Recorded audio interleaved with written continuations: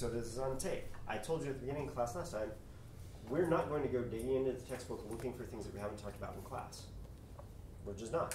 Everything that is on the test is going to be something that we've covered in class. So you have all the PowerPoints, you have all of the information in class.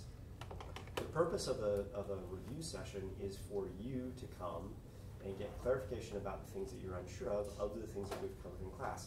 We're not in a, in a review session going to just stand up there and re-deliver the first three weeks of material to you. That's pointless. We've already done that. We've, we've been through that. However, if you want to study between now and Friday for the test on Monday, so that you come in on Friday with a set of questions about things that you don't understand, or the things that are unclear to you, or the things that you may have conflicts when you look at other people's notes and things like that, I, I we would be happy to do that. I mean, I, I did this with my Ecology of Food students this morning. I basically wrote a study guide for them on the test, and it was just a list of the two major topics we've covered and subsets of those major topics. And they looked at it and they're like, that's pointless. That's just what we've talked about the last three weeks. I'm like, yeah, because that's what's going to be on the test. So if you prepare for Friday and come in on Friday with questions, the fact of the matter is you can do this every day in reality. Review Monday's notes in preparation for today. You can come in today and ask questions over Monday's notes. We can do that before the, the tests and do a review session that way. And I'll stick around until you've exhausted all the questions that you have. The one question that I won't entertain is what's going to be on the test. I'm like, well, it could be anything in the last three weeks that we talked about in class. So yeah, I'm I'm all for it, but come with questions. If you guys come and you don't have questions, then we're kind of dead in the water. So we need we need to know what you don't understand so that we can help you understand it in order for that to happen, you have to have prepared for the for the review session. Dr. Judd and I don't have to prepare for the review session because presumably we have stuff in our heads, all the things that we've talked to you about over the last three weeks. The other thing about review sessions in this class that people oftentimes find disorienting is seldom during the review session do Dr. Judd and I, well, we've done this before, seldom do we give you the answer we formulate a question that we throw back on you to get somebody else in the room to come up with the answer or to lead you to the answer that you're seeking. Because that's the other thing about being on a test is when you don't know the answer to something, if you can ask yourself a set of questions that will lead you to the answer, sometimes you can recall things that you didn't think you could by interrogating the question that's on the test as well. And so come with questions, we will probably answer many of your questions without answering your questions, but you will eventually get answers to those questions. And if you can't make a Friday evening, if that's what we schedule, don't forget we have office hours. Yeah, come see us during our office hours. Every morning, the rest of the week at nine, and can carve out time outside of that. And if it doesn't work for you during our office hours, make an appointment with us. Uh, what time on Friday? Seven. Seven work for you, Dr. Joe? Yeah. What about the rest of you? I'm good with that. Hmm? PM. PM, they were talking Friday night. Here, in this room? Um, maybe we got it in the downstairs in the past. Let's do it in G thirty-two, because I have a key to that Yeah, room, so if it's, if it's locked, we can get in. G thirty-two in White Science, ground floor, at the end of the hall on the left. G thirty-two. Yes, we can certainly record that. We've also done that before for review Yeah, for sessions. those yeah. of you who can't make it, that's. Yeah. Yeah. Yeah, we can totally do that. Okay. Okay, so while you're putting that in your calendar, um, if you've looked over the example literature summary that um, is posted on Google now, you'll notice that the summary and introduction portion of that final product is rather short. So what we want to do today is finish talking about the introduction, make sure you understand it, make sure we can clarify any things, any parts of it that maybe you don't fully understand yet. And that way, you feel like you've got a real good grasp on the introduction. You shouldn't have too much trouble editing it down, revising until you've got a few sentences at the beginning of your at the beginning of your literature summary. So to just sort of recap to where we got last time, um, all did a really nice job in the, in the three lists of identifying the big question that the authors used to frame the opening of the, of the um, paper, do humans influence diversification? And we also heard that one thing we know is, well, if there's species being generated and humans cause extinction, that changes the pace of their diversification. So we know humans can cause extinction, and that can relate to the process of, of diversification, speciation. We ended here. What's the unknown that this paper is going to attempt to tackle, which is can human activity interrupt diversification? If you have incipient speciation that would otherwise lead to, to new species, can humans interrupt that process? So now we got to go to what is this paper about specifically, and then we'll talk about how well the introduction um, gets you prepared for this. So I'm going to start non-arbitrarily with Elizabeth. Can you tell us what this paper is about specifically? Um, it's about the it's about like how human interaction can affect the adaptive radiation in. So we got the Galapagos finches.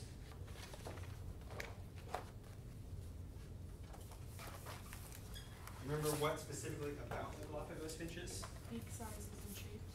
Beak size and shape. Okay, so Galapagos finches beak. So someone else help me uh, unpack this a little bit further. What about the beak shape? Yeah.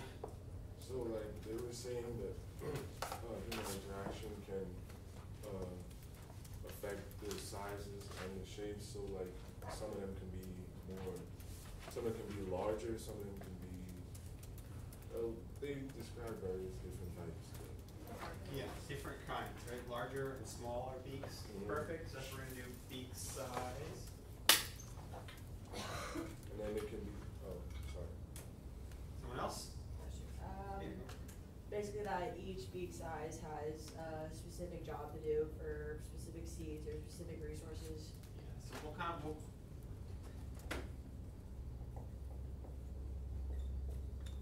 We're gonna come to this specialization concept um, momentarily, so that's really good.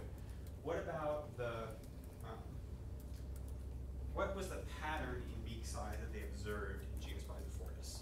Yeah. They, uh, they saw a divergence in beak size in this species.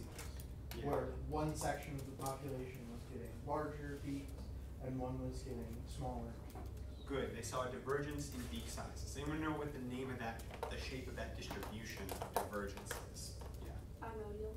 bimodal, right? So the Galapagos finch's beak size shows a bimodal distribution.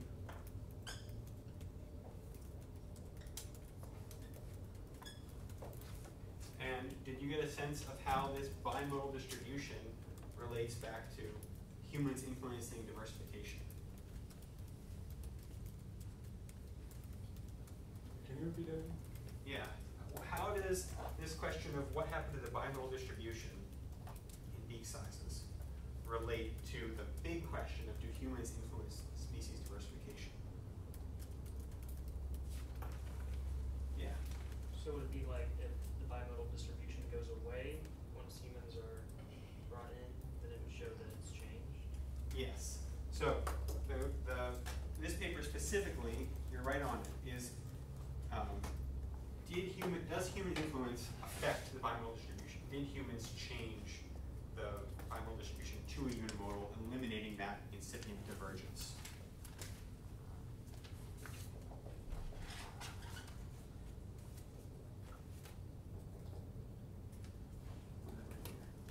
Uh, let's just say change.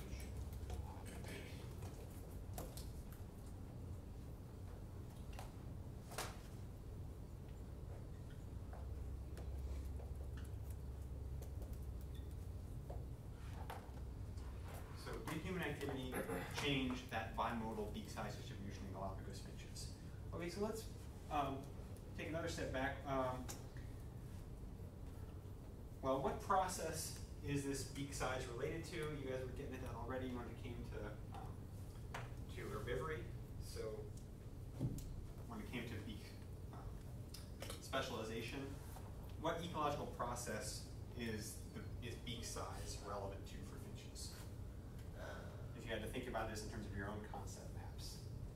What ecological processes beak size relative to for the finches?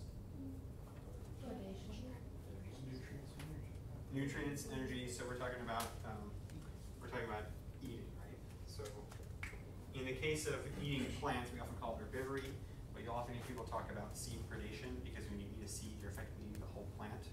And the difference between herbivory and predation is that when you're an herbivore, you eat some leaves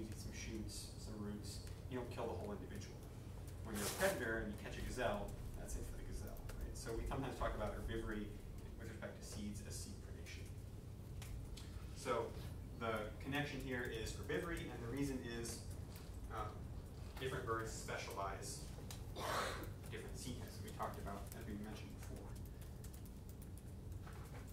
So they framed this in the context of an adaptive radiation of Galapagos finches. Um, why did they do that? Is all about one population of finches that seems to have two divergent specialized subpopulations that are competing to breed, but they eat bigger and smaller seeds. Why did they frame this in the context of an adaptive radiation in general?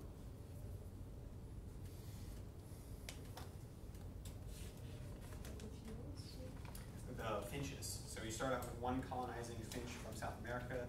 Darwin inferred that colonization event, and now we have many species of finches uh, on Galapagos Islands. One of them is Geospiza fortis. The other two species they talked about?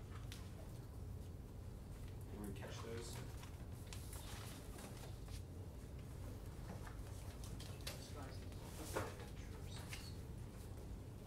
Fuliginosa? Yeah, Fuliginosa and Magna rostris, big beak. Um, these are, now we've got three of many Galapagos Island finches that are derived from likely one common ancestor. That going from one to many species in a relatively short amount of time is what we mean when we talk about a radiation. So like, um, obviously the resources are different in certain places and they also change over time. So the finches have to adapt to the change in the resources. Right, that's the idea of the adaptive radiation. And what features um, do we did they fo- do we focus in on generally when we're thinking about the finches in terms of adaptation? What features are adapting um, and leading to divergence in finch populations? Yeah, beak size. So they go on and on about this adaptive radiation, and um, I think it's sort of odd that the whole paper is about Geospiza fortis, but the first species they mention is Geospiza fuliginosa. Um, but they talk about the beak size of those two other species as evidence that divergences in beak size within a population may lead radiations where different species have different beaks specialized for different foods. So they go on and on about this adaptive radiation to sort of justify an assumption here. And the assumption is that this bimodal distribution in beak size has anything at all to do with diversification. They could have measured the distribution of tail size, and maybe tail size doesn't have anything to do with adaptation to the different um, precipitation regimes and, and, and food requirements of the finches.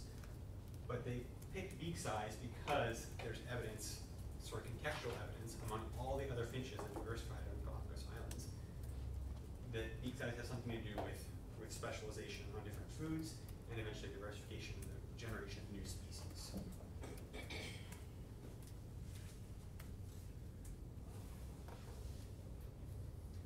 So with that point, I want to ask you all for some feedback here. What did you find helpful about this introduction? What parts sort of clicked for you, helped you understand what's going on? And you can think specifically back to when you exchanged your summaries